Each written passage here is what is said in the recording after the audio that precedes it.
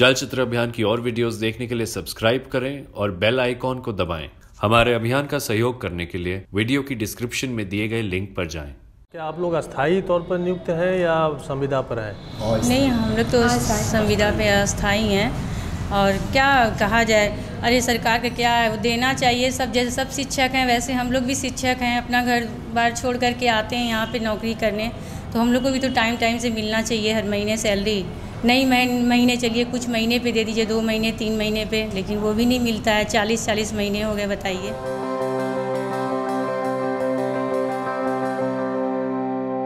चलचित्र अभियान और गोरखपुर न्यूज़ लाइन में आपका स्वागत है। आज हम यहाँ मौजूद हैं दीवान बाज़ार में, मदरसा दारुल उलूम हुसैनिया में, और हम लोग बातचीत कर रहे हैं मदरसा आधुनिकरण शिक्षकों से, जो जिनको पिछले 40 महीनों से वेतन नहीं मिला है।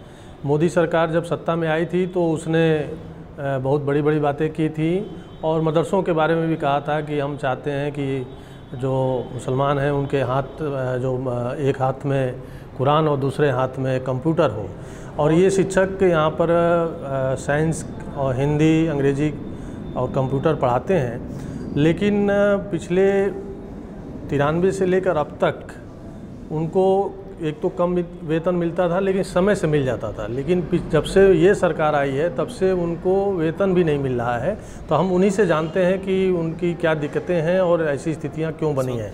बारह हज़ार हम लोग को सेंट्रल गवर्नमेंट से, सैलरी मिलती है और तीन हज़ार स्टेट गवर्नमेंट से। कि हम लोग की सैलरी लगभग चालीस महीने हो गए और अभी तक सैलरी आ ही नहीं रही। और सैलरी ना आने की वजह से आप समझ सकते हैं कि कितनी आर्थिक परेशानियों से हम लोग को जूझना पड़ता है।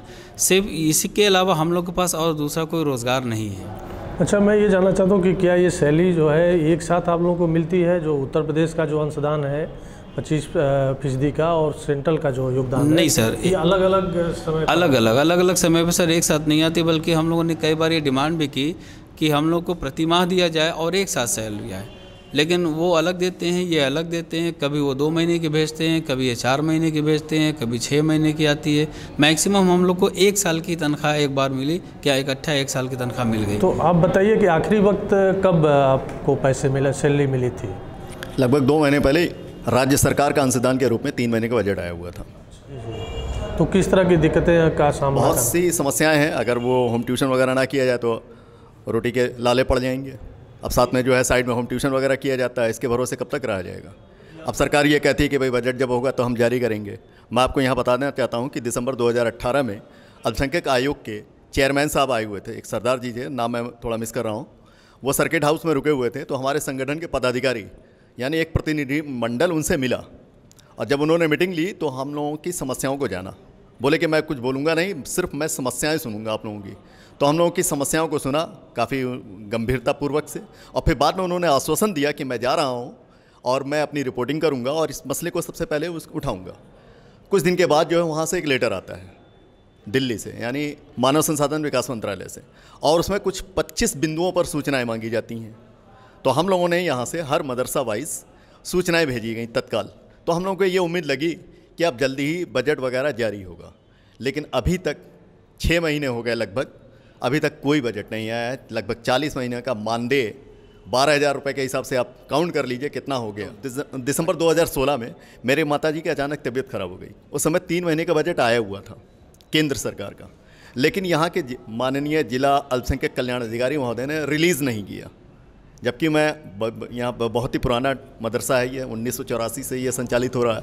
हम लोग टीचर भी पुराने हैं, ऐसा नहीं कि कोई नया अपॉइंटमेंट हुआ हो। कि भाई वो वेरिफिकेशन करेंगे जाँच करेंगे। उन्होंने जारी नहीं किया और लगभग आठ दिन तक मेरी माता जी अहमद नर्सिंग होम में एडमिट रही उसके बाद उन्होंने 16 दिसंबर सन 2016 को अंतिम सांस ली। अगर वो पैसा मुझे मिल गया होता तो हो सकता है मैं किसी हायर इंस्टीट्यूट में चला गया होता।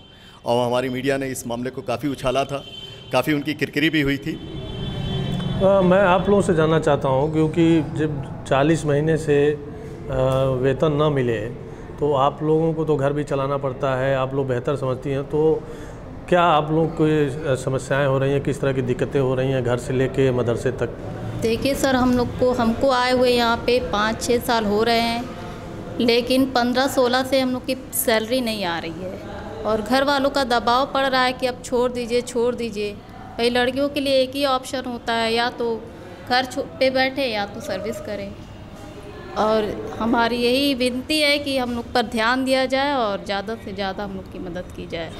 तो आपको क्या जो जो प्रदेश सरकार का जो अंशदान मिलता है उससे कैसे काम चलता होगा आपका? अरे क्या काम चलता बस ये समझिए कि एक वो हो जाता है कि हाँ कुछ आया। तसल्ली बस थोड़ी सी हो जाती। क्या काम चलना उससे क्या होगा? तीन हज़ार में क्या होने वाला है बताइए। कुछ भी नहीं। मेरे भी दो बच्चे हैं मेरे बच्चे पढ़ते हैं किस किस तरीके से कैसे इनसे उनसे कर्ज लेकर के पढ़ाया जाता है क्या किया जाए? आप बताइए कि मोदी जी ने तो बड़ी बा, बड़ी बड़ी बातें हाँ, की थी बड़ी बड़ी मदरसों के बातें बारे की थी में। हाँ कि एक हाथ में कंप्यूटर एक हाथ में कुरान लेकिन तो कुछ कर ही नहीं रहे हैं। ये मैं जानना चाहता हूँ कि आपने बताया कि इतने मंत्रियों से मिले और सब सबका आश्वासन दे रहे हैं। जी सर। अब वो पहले कहते थे कि प्रदेश में दूसरी सरकार है इसलिए दिक्कत है। जी। तो दोनों जगह भाजपा की सर, सरकार। हम लोग तो यही- क्या लगता है कि क्यों ऐसा सर यही तो हमेशा रोना होता था कि भाई पैरेलल सरकार नहीं है इसलिए प्रॉब्लम हो रही है। तो जब यहाँ पे योगी जी की सरकार बनी तो हम लोगों को सबसे ज़्यादा खुशी हुई। आप यकीन नहीं मानेंगे सबसे ज़्यादा अगर पूरे प्रदेश में हिंदुस्तान में कोई खुश हुआ है तो मदरसा शिक्षक कि चलो भाई कम से कम दोनों जगहों पर एक ही गवर्नमेंट है तो अब हम लोगों की जो समस्याएँ वो हल हो जाएँगी। यहाँ तक कि योगी जी जब पहली बार गोरखपुर में आए प्रधान, अरे, मुख्यमंत्री बन करके तो गोरखनाथ मंदिर में हम लोगों ने मुलाकात की। तो पहले तो वो हंस पड़े, बोले, यार, इससे पहले तो आप ही सरकार थी आप लोगों ने तो कुछ किया नहीं। तो हम लोग कहा, भाई, सरकार तो किसकी है, किसकी नहीं है, आप बखूबी जानते हैं। लेकिन अब हम लोग की खुशी ये है कि, भाई, आप तो अपने ही हैं। पहले सांसद थे, अब मुख्यमंत्री हो गए। और सबसे बड़ी खुशी की बात ये कि, भाई, दोनों सरकारें एक ही पार्टी की हैं। अब हम लोग का काम आसानी से हो जाएगा। तो उन्होंने भी आश्वासन दिया। उन्होंने बोला कि, भाई, ठीक है, अभी मैं नया नहीं, अभी तो आज पहला दिन मैं यहाँ आया हूँ। मुझे समय दीजिए छः महीना, साल भर का समय दीजिए, आप लोग की सारी समस्याएँ दूर हो जाएँगी। बट सर, अभी तक नहीं हुआ।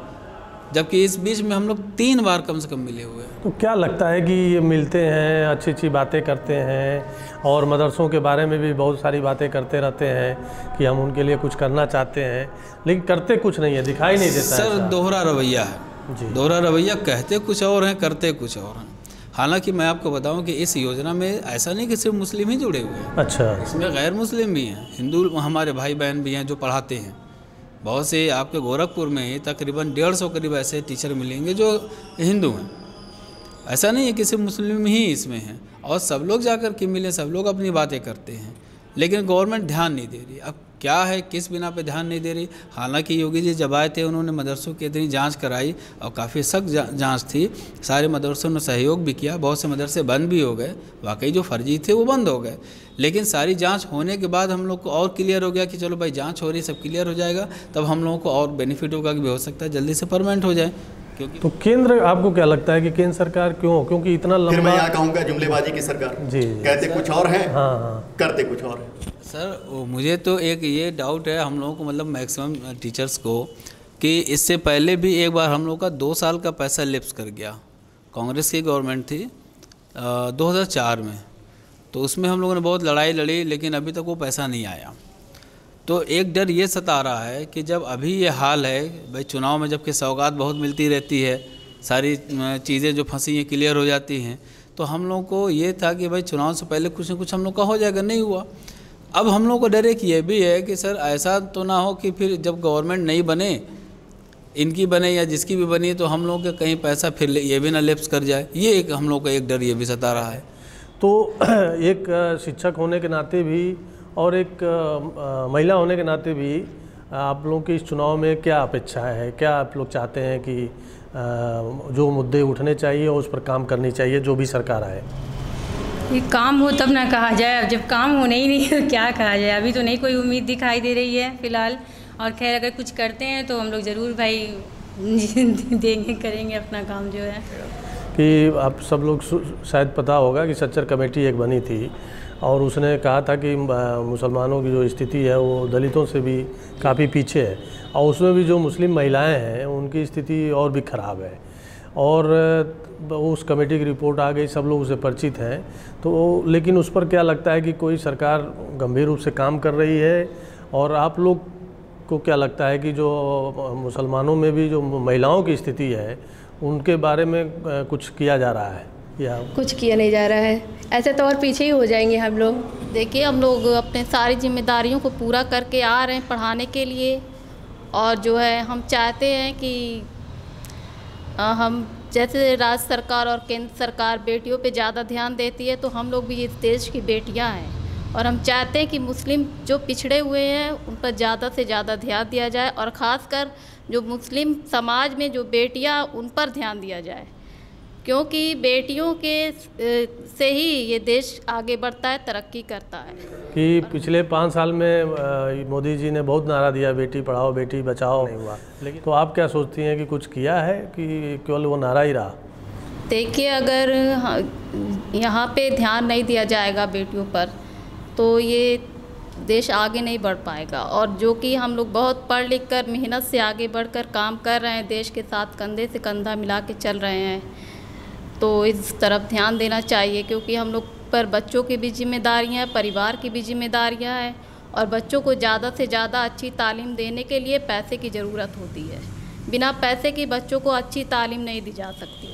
आप लोगों को बहुत बहुत धन्यवाद चलचित्र अभियान और गोरखपुर न्यूज़ लाइन से जुड़ने के लिए और हमारे साथ बातचीत करने के लिए। हम लोग लगातार कई दिनों से इस चुनाव के दौर में हम बुनियादी समस्याओं और मुद्दों पर उठाने की कोशिश कर रहे हैं, खासकर जो शिक्षा, स्वास्थ्य के क्षेत्र हैं। वहाँ पर जो सरकार ने, खासकर मोदी और योगी सरकार ने बहुत सारे वादे किए लेकिन वो पूरे नहीं हुए हैं और उस पर न कोई काम कर रहे हैं। तो आज आप लोगों से बातचीत हुई और बहुत अच्छा लगा। आप लोगों को बहुत बहुत शुक्रिया। और आप लोग जुड़े रहेंगे गोरा चलचित्र अभियान और गोरखपुर न्यूज़ लाइन से।